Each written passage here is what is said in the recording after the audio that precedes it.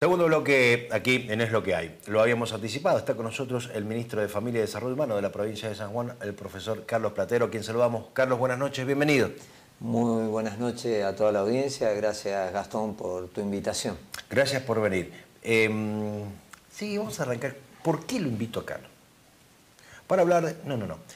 Hemos estado hablando la semana pasada por temas de la realidad y la verdad que he tenido charlas muy lindas con él, debo reconocerlo, no es por nada, no nos conocemos, no, somos amigos, nos conocemos de, habernos cruzado por la profesión nada más, pero charlas que tienen que ver ni más ni menos con la realidad misma. Y yo te pregunto, arranco esta pregunta, espero no incomodarte, pero ¿vos tenés hijos? Sí, tengo un varón de 25, Fernando, y María Agostina de 21. ¿Los tenés con vos? están conmigo, ahora estudian en la provincia de San Luis, Agostina estudia psicología y Fernando medicina. Cuando terminen su carrera, ¿qué les decís vos? ¿Que se queden o se vayan de Argentina? Y yo quiero que se queden, pero bueno, si vos me preguntabas hace un año atrás, eh, por ahí eh, busca siempre lo mejor para ellos, porque como padre busca lo mejor, primero que estudien, que trabajen, que se desarrollen, y bueno, el país había tomado un rumbo equivocado y bueno, yo creo que entre todos tenemos que cambiarlo, aportarlo mejor y a eso creo que he venido yo estos cuatro años o el año que me toque estar, los años que me toquen estar, tratar de ponerlo mejor porque uno, yo tengo 56 años y como que vos tenés tu vida más o menos organizada, te puede ir un poquito más mal o más bien, pero más o menos estás encaminado pero tus hijos, tus sobrinos, tus vecinos, eh, a la mayoría no, no les va bien o no les iba bien. Y entre todos tenemos que apostar a tener un país distinto, una provincia distinta. Y bueno, ese es el objetivo. No trabajar por uno, no hay que ser mezquino o por los hijos de uno, tenemos que trabajar para que a todos nos vaya bien, para que todos los chicos, los jóvenes tengan acceso a la educación, para que todos los chicos hayan escuelas de oficio, que aprendan oficio como nos enseñaron nuestros padres. Mi padre era carpintero, me enseñó la carpintería y me dijo que a través del esfuerzo, el trabajo, la preocupación y mi formación iba a ser libre, iba a salir libre pensador, iba a salir adelante. Y digo, cuando vos le das la oportunidad a un chico que estudie o a un chico que aprende un oficio, sabés que ese chico que está entusiasmado en aprender ese oficio, en estudiar una carrera ya sea terciaria, universitaria, eh, él lo vas a alejar de los flagelos que sufren muchos sanjuaninos y muchos argentinos con sus hijos, que es el tema de las adicciones. Yo lo vivo ahora en carne propia, digamos, dentro del ministerio, dentro de la dirección de, adicciones, eh, la grave problemática, padres desesperados, chicos que tenemos con tratamiento fuera de la provincia, en Buenos Aires, y la verdad que digo, cuando un chico está encaminado o su padre ha hecho una guía bien en su vida, el chico está entusiasmado en algo. Yo me acuerdo, mi padre me había entusiasmado en aprender el oficio y yo amo la madera. Mm. Me encanta la carpintería, trabajé durante 14 años para poder estudiar. No soy carpintero, mi padre era carpintero, hacía ataúdes, guitarra, casa, hizo de todo, pero eh, hacíamos juguetería en madera y yo aprendí el oficio y después he podido recibirme como profesor y ahora lo hago cuando puedo como hobby, porque es algo que me encanta la madera. A lo mejor no le hago a la electricidad pero, ni a la mecánica, pero sí me gusta la madera. Y eso es importante, nuestros padres nos enseñaban un oficio, lo que ellos habían aprendido, pero también te guiaban a que pudieras estudiar o que seas una persona de bien, que, que si querías seguir tu oficio, que te vaya bien. En la época de mi viejo los carpinteros eran pocos los que estaban económicamente bien. Mi viejo no estuvo económicamente bien nunca. Hoy en día es raro el carpintero que no tiene un nivel económico eh, mediano o bueno, eh, se han ido desarrollando.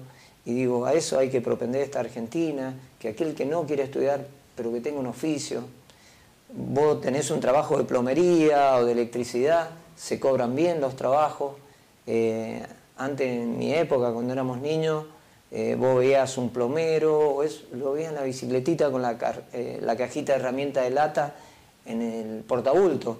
Hoy día andan en sus movilidades, se han podido desarrollar, se cobran bien los trabajos. Entonces tenemos que apuntar a eso y vamos a tener una sociedad más justa y libre de todo este flagelo que tenemos hoy.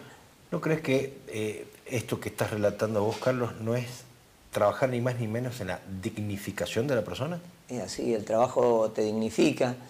Eh, por ahí mi padre decía, no hay que tener vergüenza, vergüenza es robar. Eh, yo vendía camiones en la Rawson y Libertador, lo que era rumbo, y la ponía. Y iba a la normal Sarmiento, y era raro que un chico estuviera haciendo eso, pero bueno, siempre nos apoyó, nos dio buenos consejos y nos dijo, siempre me decía, el trabajo dignifica a la persona, no tenés que tener vergüenza. Y vos te encontrás en el rol de ministro de Familia y Desarrollo Humano en la provincia de San Juan. Tenés una interrelación diaria con eh, sectores vulnerables. Sí, esto es el área, es el área por el cual el gobernador te, designó por varias cualidades, que eso lo sabrá el gobernador, ¿no es cierto? Pero para que vos tengas ni más ni menos ese rol. Eh, ¿Qué te encontraste con la con qué sociedad te encontraste cuando llegaste? Y hoy en día hay un vasto sector de la sociedad que no le está pasando bien, que necesita de asistencia, que no tiene sus condiciones básicas satisfechas. Pero bueno, eh, tenemos el Estado que es una herramienta para ayudar a aquellas personas o familias que estén en estado de vulnerabilidad. Está la asistencia. Si bien por ahí eh, cuando uno dice no tiene las condiciones básicas satisfechas o están insatisfechas, es porque no pueden acceder por ahí a la educación, a la salud, pero en el estado que estamos ahora es un estado que está presente y bueno, eh, en el lugar que ocupo, eh, si una persona tiene dificultades para solucionar su problema de salud, para eso está el Ministerio de Salud Pública y para eso está también el Ministerio de Desarrollo Humano. Por ahí va una persona a hacerse atender al hospital público y si hay una medicación más compleja que no la tiene el Ministerio, desarrollo humano la consigue, es decir, que hay un Estado presente que trata de eh, solucionar aquellos problemas que por sí solo las familias no lo pueden solucionar. Es el caso que te hablaba yo y lo digo con un gran trabajo, tengo un gran equipo dentro del ministerio y la verdad que me he sentido muy acompañado y eso habla del gran trabajo también que se está haciendo en el ministerio, por supuesto que tenemos todo el apoyo del gobernador, del doctor Marcelo Rego, el cual confío en el lugar que estamos y en el equipo que conformamos.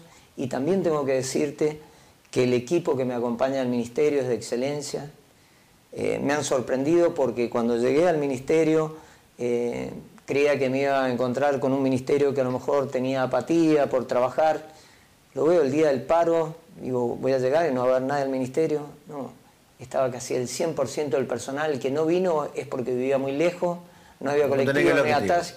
La cantidad de empleados, de compañeros de trabajo, porque le digo yo que somos compañeros de trabajo, que vinieron caminando a trabajar.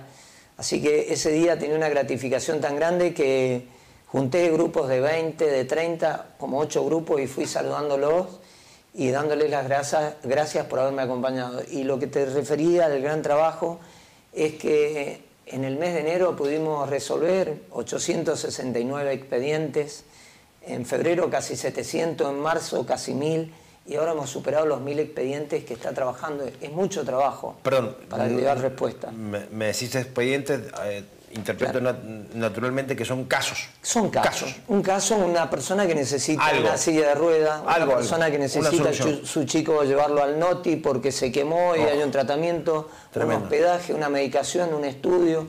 Eso es un expediente bueno, pero me hablas de 800, de 200, de 1000, eh, que, inclusive que fueron incrementando, pero comparativamente con qué, digo, es mucho, es poco, no sé si... Y bueno, anteriormente no, no había un trabajo así, yo estoy trabajando expedientes que vienen desde el mes de mayo sin respuesta y hay mucha gente que por ahí se encontraba varada. Por, mayo del año pasado. Sí. ¿Un año? Un año, se encontraba varada porque a lo mejor le falta, por darte un ejemplo, un clavo endomedular y, y, no estaba resuelto y a lo mejor llevaba 20 días o 30 días o 40 días ocupando una cama y hemos podido resolverlo. Eh, no solo que resolvemos el problema que tiene en el momento, sino también después eh, de una cirugía, eso hemos acompañado con medicación hemos hecho un seguimiento de, cada uno de, los expedientes, es decir, que vos le das o le otorgás una manutención, terminó, listo, no lo ves más. En algunos casos sí, pero hay en otros que tienen que volver a los 30 días, eh, dejamos ese expediente abierto para poderlo resolver y ese trabajo no lo hace un ministro, ni lo hacen solamente sus funcionarios, mi directora de asistencia que hace un gran trabajo, eh, o mi subsecretario, mi secretario, sino que también lo hace aquellos empleados de planta y contratados que tiene el ministerio, que han estado, me han estado acompañando, y yo les digo que, bueno, yo no soy un gran administrador, he sido diputado, tuve un pasaje también por la Secretaría de Gobierno del municipio de Santa Lucía, pero este, he podido aprender mucho de gente que lleva muchos años en planta o contratada, que tiene una vasta experiencia, y cuando hay un problema de salud, te puedo decir que Veo a gente que está preocupada corriendo de una oficina a otra para lograr la firma, para que pase una oficina, y eso es lo importante y lo lindo. Y otra cosa que me ha dado, digamos, este lugar es poder caminar por la calle y que se te acerque gente y te agradezca, porque bueno, soy el nexo o el medio, eh, sin el apoyo incondicional del gobernador no podría estar en este lugar, pero y sin el apoyo de todo el equipo, pero me llevo, fuimos a visitar con el gobernador el hospital y salió una abuela que le acaban de operar a su nieto y le habían puesto una válvula y ya salió el quirófano. Y la verdad que yo no me acordaba la cara y estaba como sorprendido, digo, no, me confundió con alguien. Y no era agradecimiento por haber agilizado para que tenga la válvula y la pudieran operar en el Hospital Rawson. Así que esas son cosas muy bonitas. Claro que sí. Eh, ahora, eh, para dimensionar, ¿qué se estaban resolviendo mensualmente el año pasado? ¿100, 200, 300? expedientes, casos por mes. Casos, 200, 270 eh, expedientes. Y bueno, nosotros hemos tratado de agilizar, eh, nos quedamos muchas horas de trabajo y en eso tengo un gran trabajo que hacen mi secretario y mis subsecretarios, porque si bien todos se van a las 2 de la tarde, ellos se quedan, trabajamos de corrido, muchas veces nos vamos a las 7 de la tarde, otro día a las 4 de la tarde pero siempre... Ahora, pero hay algo que no entiendo. Eh, me decís que están resolviendo casos, expedientes, entre 700 a 800 mil por mes, es el dato que has dado, pero ahí no hay plata. ¿Qué ha pasado? No entiendo. Eh, también tiene que ver una cuestión porque incluir salud, eh, por ahí no estaba dando las prestaciones, que son aquellas pensiones no contributivas, que era el profe de antes. Entonces, vos no puedes dejar a esas personas sin cobertura, entonces se nos amplió también el trabajo, eh, porque no hemos dejado a nadie varado que haya tenido que incluir salud, le hemos dado la respuesta que necesita. El caso que me pasó los primeros días de asumir como ministro, me vinieron a visitar papá de chicos hemofílicos, también tuve eh, contacto, he tenido contacto con muchos padres de, chicos, de, personas adultas de 40, 42 años que tienen esclerosis múltiple mm. y, son tratamiamentos caros, que por ahí los cubría incluir salud y por decisión del gobernador se está haciendo cargo la provincia. Ahora, eso, quería consultarte, Carlos. Sí, em, no hay plata, situación de crisis, pero ustedes están asistiendo más. Los números indican eso, porque se está administrando mejor el dinero, hay más dinero, hay más recursos que el año pasado o que en los anteriores años, o qué está pasando. Tenemos los mismos recursos, el mismo presupuesto que el 2023, hay un gran ordenamiento. Una inflación monstruosa en el medio. Cuando pedimos presupuestos eh, de alguna prótesis, alguna cuestión que tiene que ver el ministerio, eh, tratamos de comprar al menor precio eh, y ahí lo que te decía yo, el gran trabajo que se pueden hacer de las distintas áreas, eh, buscar muchos presupuestos. En una reunión que tuvimos con el gobernador llegó un caso de una prótesis oculofacial y que salía 136 millones, una persona que tenía problema en uno de sus ojos por un tumor entonces, el primer expediente que me toca es tratar de resolver eso y bueno, habían algunos presupuestos de 136 millones y pudimos conseguirla en 22 millones. Te digo, una diferencia increíble y de ahí... 110 millones de diferencia. 110 millones, entonces nos pusimos a buscar presupuesto en todos lados, a todos le pedimos presupuesto y el más barato es el que compra el ministerio. tratamos en cada cosa que vamos a gastar ser muy, ser muy cautos. Eh, Así entonces se optimizaron los recursos. Es optimizar los recursos, el día a día, eh, en vez de que tengan un presupuesto, es decir, lo tomo, lo hago rápido, no. Saber que ese dinero es un dinero público y que vos puedes ayudar a cuantas familias con lo que te ahorres o con, con el trabajo, dedicarle tiempo a cada uno de los expedientes. Carlos, en términos generales, ha pasado como este caso en la mayoría, debo interpretar entonces. Y por ahí pasan, no sé en qué va la diferencia de algunas ortopedias, pero bueno, tratamos de verlo y de estar permanente viendo precios. Lo mismo pasa con las leches maternizadas. Eh, buscamos el mejor postor. Los otros días habían salido que había salido una licitación dentro del ministerio por cajas de leche de 18 mil pesos, donde una caja de leche común vale 4.500.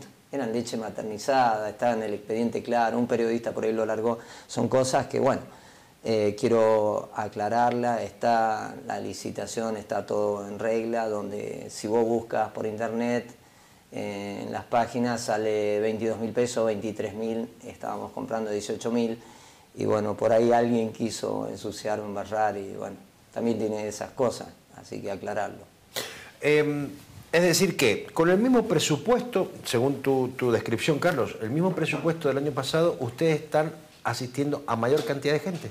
Digo, están resolviendo mayor cantidad de claro, casos. porque hace un tiempo atrás eh, no teníamos los problemas que estaba teniendo Incluir Salud, que eso se va mejorando paulatinamente, pero todavía hay algunas asistencias que las estamos logrando, estamos logrando una mejor coordinación, tanto el Ministerio de Salud Pública como el Ministerio de Desarrollo Humano, pero no hemos dejado a nadie varado que ha tenido una situación y que no lo ha podido cubrir Incluir Salud, nosotros hemos estado para resolverlo. Administración. Digo. Una buena administración, mucho compromiso, muchas horas de leer bien los expedientes, de buscar presupuestos, de, tratar de agilizarlos, eh, porque vos sabes cuando te digo, muchas veces me mandan mensajes a mí, por favor, ministro, se han pasado mi teléfono. Me dicen, me dicen que el expediente está en su despacho. Y como si uno tuviera un montón de expedientes, decir, voy a sacar este, lo firmo ahora, veo en mi despacho duran 20 minutos, tengo que leerlo, tengo una persona que va leyendo cada uno de los expedientes, si tengo en duda en una, la llamo a Leticia, que es mi asesora, y vemos expediente por expediente, pero sé de la urgencia, no puedo tener, o ser irresponsable de tener los expedientes. Me llegan a diario un expediente que usted tiene en su escritorio. No, no, le damos agilidad bueno, hay un circuito administrativo dentro de todo ministerio. Seguro. Que yo quisiera sacarlo en el día, pero tratamos de ser lo más ágil posible. Eh, te consulto en este sentido. Em, ¿Es viable, es posible pensar, ya entrando en la recta final de la charla, eh, en esta dignificación de la persona? Es decir, ayudamos, estamos para ayudar a los más desprotegidos, a los más vulnerables. ¿Es posible pensar que esa persona que hoy es vulnerable deje de serlo? Para que no necesite la ayuda del, Ministerio? Por supuesto, creo que es lo óptimo, eh, el deseo óptimo. Yo creo que este país, eh, administrándolo bien, eh, administrando los recursos, tenemos un país rico, tenemos la pampa húmeda, tenemos acá el desarrollo que puede tener la provincia con esto que está llevando, impulsando adelante el gobernador con el tema de la minería, el cobre y todo eso.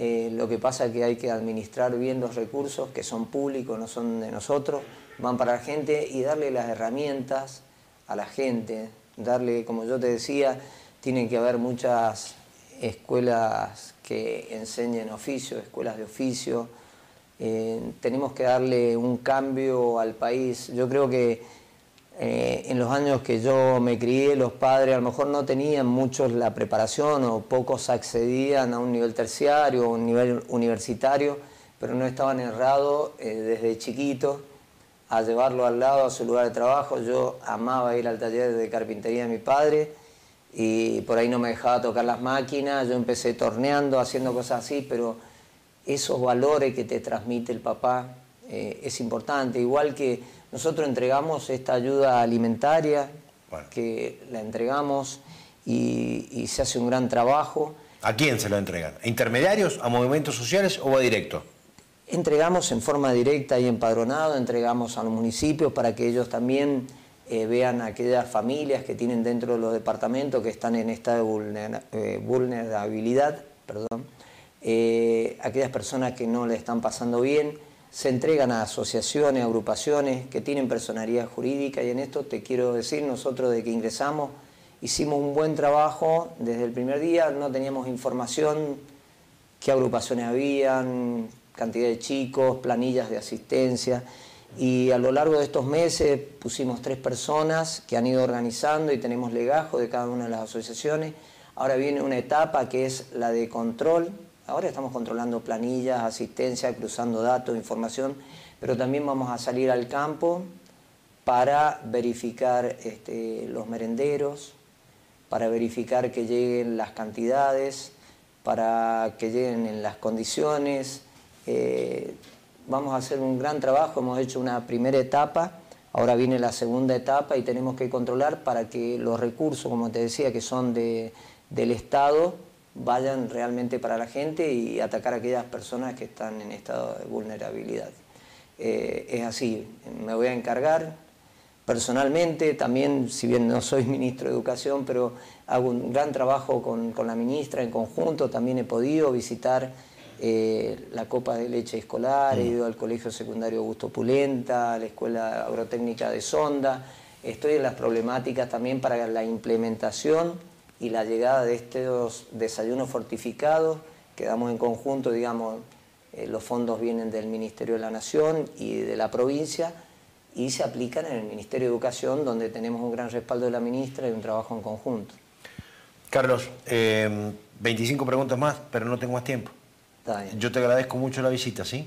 Muchas gracias. La seguimos en otra oportunidad. ¿Te parece? Te agradezco picando. Dale, muchísimas gracias.